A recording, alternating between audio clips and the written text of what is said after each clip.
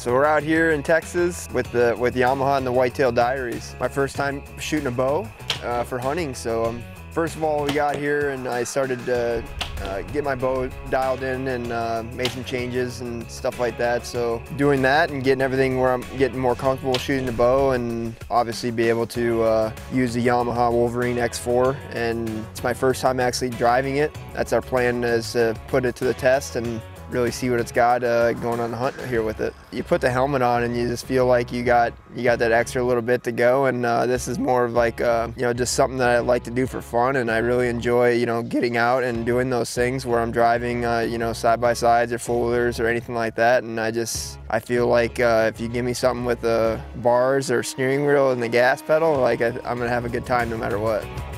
Learn more about the Yamaha Wolverine X4 at YamahaOutdoors.com.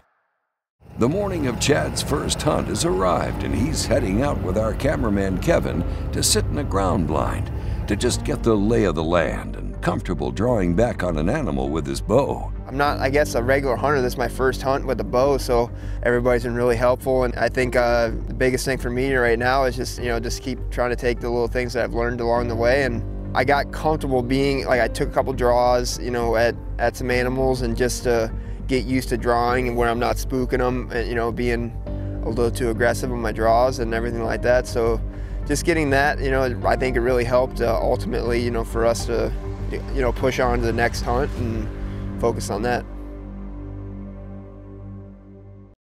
After a morning sit getting used to drawing his bow back in a ground blind, it's time for Chad to venture out in search of a whitetail buck. The next hunt uh, we did was later on that day. Wade got us set up to go to a blind that was um, had very heavy traffic and we took the Wolverine X4. We drove it out to our spot and we got set up. We walked into our blind and man, like the, the deer were just wanting to come in before we were even set.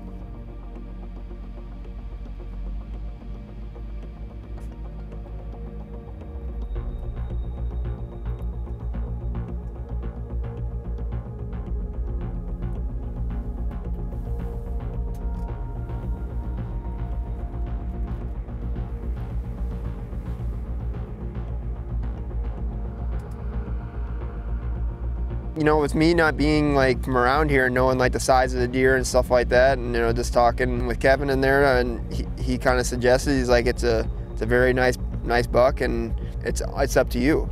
And you know, like my goal coming into the hunt was like not necessarily like shooting for like for antlers, I was just wanting to like feed off of them, and that was like my big goal to come into like this weekend was to uh, bring that home with us and feed the family, and you know just how much we enjoy it. You know, I made a decision if if he presented himself for a good shot that I was gonna I was gonna commit to that.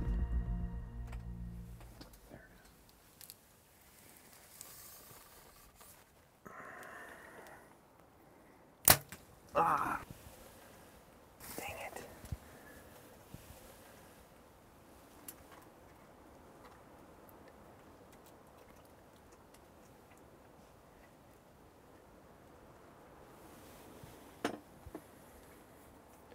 Took the shot and I ended up hitting him back. And, you know, I don't know if it, like, obviously I feel like just having the nerves in the situation, the first hunt with the archery bow. And, you know, I just, uh, I think that really got the best of me. You know, the smartest thing for us to do is to, like, quietly get out of the stand and uh, make our way back and give this deer, you know, time and not try to push him. I feel like if we, we did get too aggressive, we could really kick this deer up and we might not ever find it. We ended up doing that and coming back to camp and regrouping and getting our game plan for the next day. It's the following morning, and the group, along with Wade, is set out to see if they can track and recover Chad's buck. You know, if you're a bow hunter or any kind of hunter, um, you're going to go through the emotions of hitting a deer and and not being able to immediately find it. Um, man, I mean, it's a it's gut wrenching. And we were kind of called in to kind of help with the tracking on this, which was the smart thing to do for anybody if, if they're tracking a deer, get as many buddies as you can. After we got on the track a little bit, we were starting to find a few drops of blood and it was really a, a not a bad track. I mean, we were moving fairly steadily for you know, 15, 20 minutes on this deer. And, and it's one of those ones I kept after I go around any bush, I think, he's gonna be right there. Man, I could see the concern on, on his face while we were looking and, and all of a sudden the deer made this hard right-hand turn. And it was it was going to an area we had heard a bunch of hogs and pigs squealing in early on and, and sure enough uh, what had happened is this deer had had gone up there and expired and, and the pigs got on this deer um, it's unfortunate that we actually don't have a, a shot of the video to show you but it was three to four pigs that we had heard and as we tracked ended up going in that area and, and as, as Michael got up on them closer had to throw rocks at them to get them off this deer.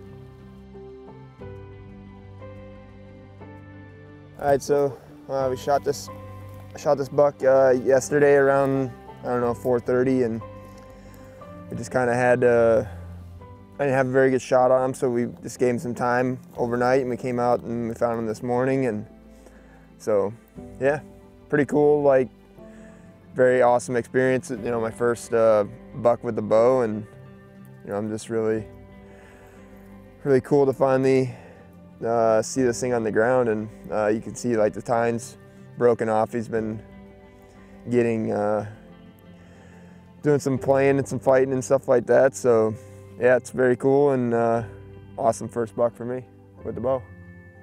You know, that's the last thing that I want to do is go out and like wound a deer that we couldn't we couldn't track down and find, and uh, that's just a lot of stress on the on everybody involved. And you know, I was glad that we were able to find him and didn't didn't take overly long to, to track them down, and you know it was a very successful hunt, and you know that's that's what I, we came down here to do, and you know try to pursue this a little bit more and try and give this more part of my you know my downtime besides racing, and let this be something like a like a little bit of getaway to myself, and uh, you know just try to enjoy keep enjoying the outdoors, and uh, this is something that you know I could uh, you know really get into doing. Congratulations, Chad, on your first whitetail buck.